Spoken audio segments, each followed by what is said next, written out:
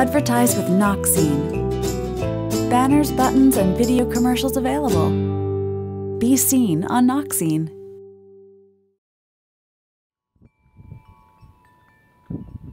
My name is Jeannie Lane.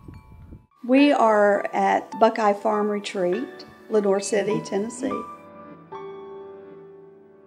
I built this yurt as an opportunity for me to use it as a studio for myself for yoga and to teach yoga. I also built it because I'm a painter. I built it to use as a painting studio uh, when I retire.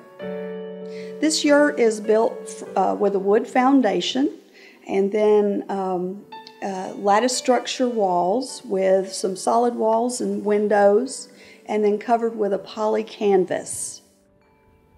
There's a little bit of gypsy in me. This was the home of the nomads in the desert.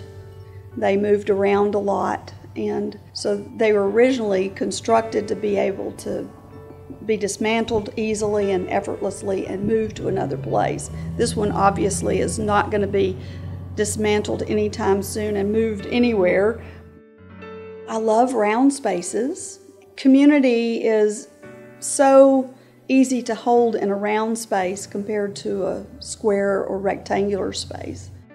The floor in the yurt is a yellow pine. The pine itself was purchased out of Jamestown, Tennessee.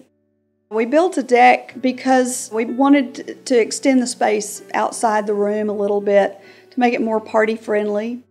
I built a restroom. It's about six by eight and has a composting toilet.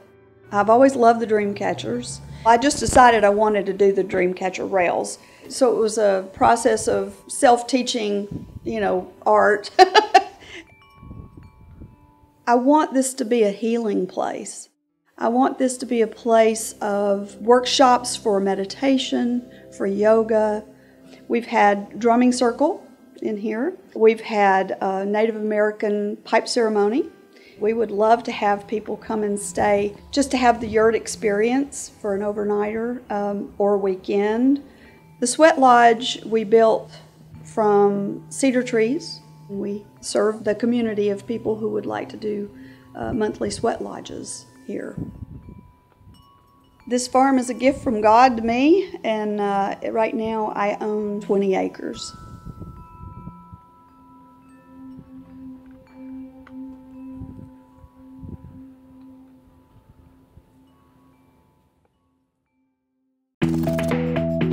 Get enough KnoxZine? Follow us on Facebook at facebook.com slash KnoxZine for news and special offers.